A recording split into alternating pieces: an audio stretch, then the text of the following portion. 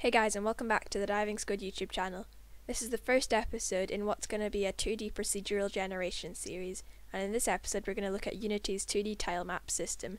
The use of tile maps allows for quick and easy level building inside of Unity.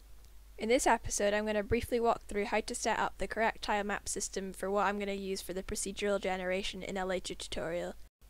If you would like some more in-depth detail on how to use tile maps and what they're all about, I recommend checking out Brackeys YouTube tutorial, the link will be in the description below, and also check out the Unity blog because that's where I learned about tile maps and they have brilliant resources on there. So to start the tutorial, we're going to need to start by downloading a file from GitHub called 2D Extras, and this contains all the tile map info we're going to need to use. Hit the download as zip file and extract this into our Unity Assets folder. You'll see this contains awesome resources which you can have a play around with if you'd like, but I'm not going to be using most of these for this tutorial. Next what I've done is designed a pixel art tile set sheet which has all my tile sprites on it. There'll be a link to download this in the description if you want to use it or edit it to make it your own. I would recommend using it as a base so that you have all the necessary platform parts to be able to do this tutorial. Once you've imported your sprite sheet, set the sprite mode to multiple and set your pixels per unit to whatever your sprites are made in. For example, if yours are 8x8 sprites, set it to 8. In my case, it's 4.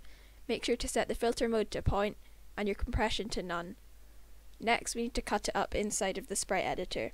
So what I've done is I've cut it in 8x8 squares, as that's how I've designed each tile so that every possible platform scenario is covered. This cuts up each of my platform tiles nicely. Now we're going to open the tile palette window by going to Window, 2D, and then Tile Palette.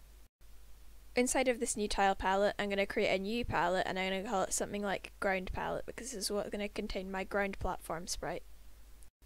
Leave the grid and cell size settings as they are at default and then hit create and save inside of our assets folder.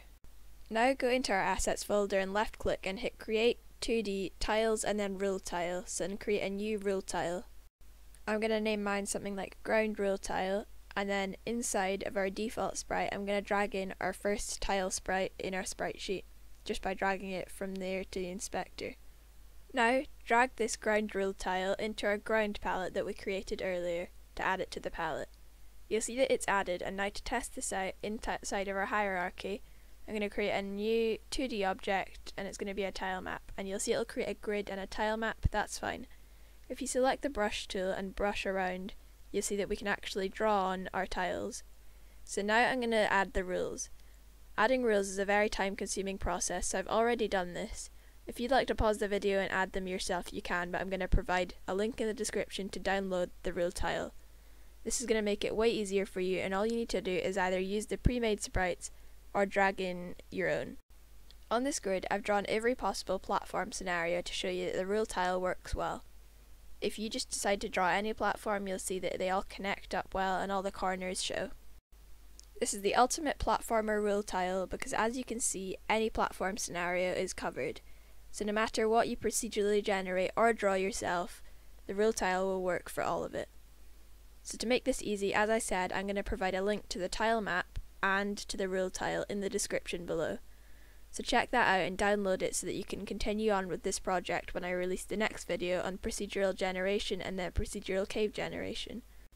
Now what I'm going to do is I'm going to export the ground tile set, the ground palette and the ground rule tile as a Unity package. This is going to create a little Unity icon and I'm going to call it ground tile package. All you need to do is download this from the link in the description, drag it into your Unity assets folder and double click it it will give you the option to import it. I've already got this in the scene so it won't give me the option, but all you need to do is select them all and hit OK, and that's all you need for this project. Make sure to stay tuned for the next two videos where we'll look at procedural land generation like this, which gives you a randomized and nice terrain, and also procedural cave generation which is in addition to that. Both of these tutorials will use Perlin noise to generate these, which is such a fun thing to play around with and gives you endless opportunities in your cave generation. Don't forget to subscribe so you don't miss the next couple of tutorials coming out guys. Thank you so much for all the support and thank you to my awesome Patreons. Thanks for watching.